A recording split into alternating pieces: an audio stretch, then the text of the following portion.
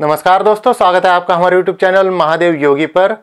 आज हम बात करेंगे पतंजलि की ओर से आने वाली अविपत्तिकर चूर्ण के बारे में। अविपत्तिकर चूर्ण बहुत सारी कंपनियाँ बनाती है, बैद्यनाथ हिमालय वगैरह बहुत सारी कंपनियाँ बनाती है। प्राइस सबकी अलग अलग है, जैसे आप देखेंगे तो ये सौ ग्राम की पैकिंग में आता है, जिसकी कीमत सैंतालीस रुपये है। यही आप दूसरे ब्रांड में जाएँगे तो 120 ग्राम में एक सौ रुपये तक भी प्राइस है। और क्वालिटी कुछ खास चेंज नहीं है खास करके इस अविपत्तिकर चूर्ण और दूसरी कंपनियों की लगभग एक जैसी क्वालिटी सेम ही है, ये मान सकते हैं और कीमत में काफ़ी फ़र्क है। कुछ औषधियों में दूसरे ब्रांड के थोड़े से ज़्यादा बेहतर भी आते हैं, कुछ औषधियों में पतंजलि के ज़्यादा बेहतर आते हैं। तो ये जो अविपत्तिकर चूर्ण है, वो लगभग क्वालिटी में एक जैसे और कीमत में बहुत ज़्यादा फ़र्क है तो आप इसको देख कर लीजिए। आज की वीडियो में हम जानेंगे अविपत्तिकर चूर्ण के क्या है फ़ायदे, क्या है नुकसान? इसका इस्तेमाल किसे करना है, किसे नहीं करना है, कब करना है, कैसे करना है, इन सब के बारे में डिटेल्स में। तो चलिए शुरू करते हैं।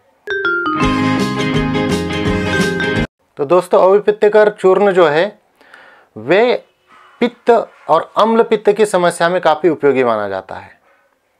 यह स्पेशली बनाया गया है पित्त और अम्ल पित्त से संबंधित बीमारियों के लिए, पित्त को शांत करने के लिए। पित्त के कारण भी बहुत सारी प्रकार की बीमारियाँ हमारे शरीर में आ जाती है पित्त बढ़ने की वजह से।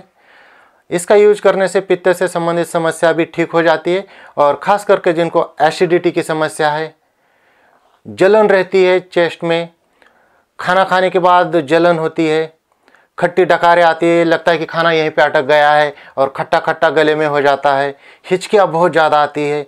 इन, इस प्रकार की जिनको भी समस्या आती है, उनके लिए औषधि बहुत ही बेस्ट है। हालाँकि ऐसा नहीं कि इसको आपने लेना शुरू किया और आज ले और कल रिज़ल्ट मिल जाएँगे। थोड़ा सा धीरे रिज़ल्ट मिलते हैं, लेकिन मिलते ज़रूर है। तो इसको ये नहीं कि दो तीन दिन में यूज़ करेंगे और आपको एकदम से ठीक हो जाएगा। इसको थोड़ा लंबा यूज़ कीजिए। इसको आप पूरा ख़त्म होने तक भी यूज़ करेंगे, तब भी कोई प्रॉब्लम नहीं है। इसमें कई सारे औषधियों का इस्तेमाल किया गया है, जैसे सौंठ वगैरह। आप सोच रहे होंगे कि ये गर्म औषधियाँ है, कुछ ठंडी भी औषधियाँ इसमें मिलाई गई है। लेकिन आपके जो पाचन क्षमता है, जो अग्नि है आपके शरीर की, उसको भी ये इम्प्रूव करता है।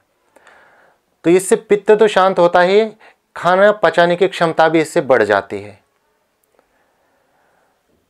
इसके अगर हम डोज की बात करें तो तीन से पाँच ग्राम दिन में दो बार लेना है खाना खाने के बाद। इसको आपको गर्म पानी के साथ नहीं लेना और दूध के साथ भी नहीं लेना। इसको लेना है नॉर्मल पानी के साथ। कुछ कंडीशन में कुछ पेशेंट को खाना खाने से आधा घंटा पहले भी नॉर्मल पानी के साथ दिया जाता है। कुछ कंडीशन में खाना खाने के बाद भी दिया जाता है।